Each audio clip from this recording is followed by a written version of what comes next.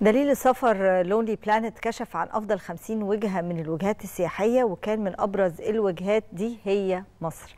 الموقع قال إن الزائرين يقدروا يستمتعوا بمعابد الأقصر والنيل وأهرامات الجيزة وده لأن مصر بتتمتع بوفرة من الثروات التاريخية.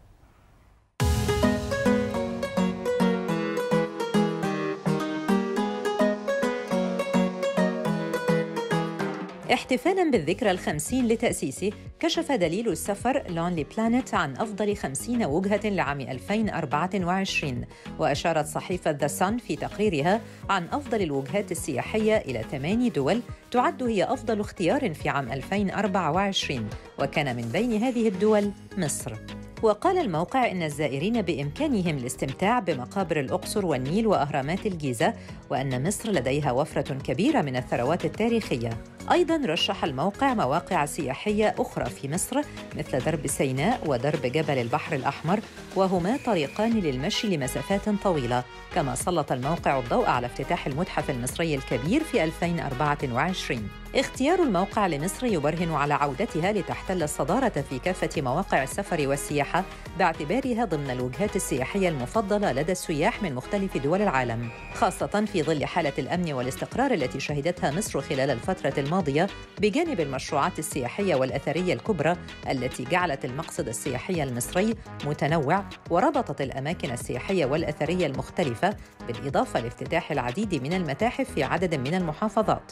هذا بالإضافة إلى تطوير متاحف أخرى والاكتشافات الأثرية الضخمة التي تسهم في الترويج للسياحة في مصر. وأبرز موقع ترافل أوف باث أحد أكبر مواقع أخبار السياحة والسفر في أمريكا من خلال تقرير مصور خمس وجهات سياحية في مصر واصفا إياها بأفضل الأماكن السياحية التي تستحق الزيارة بالمقصد السياحي المصري. وحظيت مدينة القاهرة بأن تكون أول أفضل هذه الأماكن حيث إنها مدينة نابضة بالحياة ومركز للعديد من مناطق الجذب السياحي الشهيرة منها منطقة أهرامات الجيزة والمتحف المصري بالتحرير والمتحف المصري الكبير الذي يمثل افتتاحه إضافة عظيمة لهواة التاريخ وعاشقي مصر القديمة والسياحة الثقافية. هذا بالإضافة إلى ما تشهده المنطقة حوله من تطوير هذا إلى جانب منطقة خان الخليل التي تعد من أشهر الأسواق في القاهرة وتسخر بالعديد من الهدايا التذكارية الفريدة. وجاءت مدينة الأقصر أيضاً كواحدة من أفضل الأماكن التي يمكن زيارتها في مصر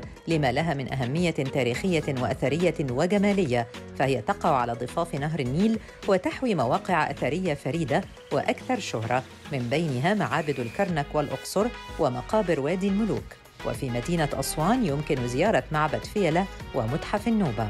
وأوضح التقرير أن الشواطئ الرائعة التي تطل على ساحلي البحر المتوسط والبحر الأحمر التي تتمتع بها مصر هي من أفضل الأماكن التي يجب زيارتها مشيرا إلى مدينة دهب التي تقع على ساحل البحر الأحمر وتعرف بأنها مقصد ساحلي يتمتع بشواطئ متميزة وتشتهر بأنها نقطة جذب لممارسة رياضة الغوص.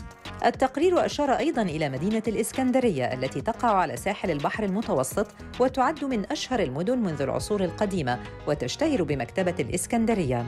كما أضاف أنه من بين أفضل الأنشطة التي يمكن القيام بها زيارة قلعة قايد بي والتنزه على كورنيش الإسكندرية وزيارة مكتبة الإسكندرية. كذلك أشار التقرير إلى النتائج الإيجابية التي حققتها السياحة في مصر خلال العام الحالي.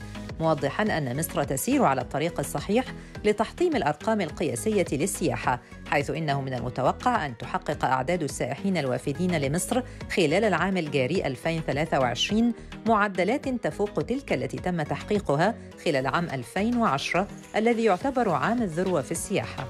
فضلا عن أن مصر تعد واحدة من أكثر المقاصد الثقافية والتاريخية الفريدة في العالم حيث جذبت مصر القديمة خيال ملايين المسافرين الذين يأتون إليها لرؤية المواقع الأثرية مثل أهرامات الجيزة ومعبد أبو سمبل ومعبد الأقصر. إلى جانب الاستمتاع بالعديد من التجارب السياحية مثل القيام برحلات نيلية وممارسة رياضة الغوص ورؤية ما يتمتع به قاع البحر من حياة بحرية خلابة.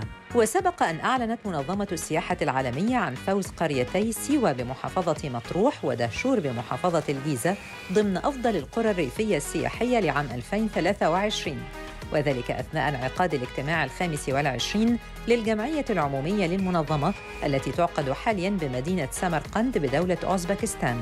وتم اختيار هاتين القريتين نظرا لتلبيتهما للمعايير التي وضعتها المنظمة في هذا الإطار. كما قامت المنظمة بالإعلان عن وضع قرية سانت كاترين بمحافظة جنوب سيناء على قائمة الترقي المؤهلة لتصبح في المستقبل على قائمة أفضل القرى الريفية السياحية. زي ما شفنا في التقرير مشاهدينا ما فيش محافظة في مصر من شمالها لجنوبها ما فيهاش مكان جاذب سياحيا بيخلي مصر دايما في مقدمة المقاصد السياحية في العالم كله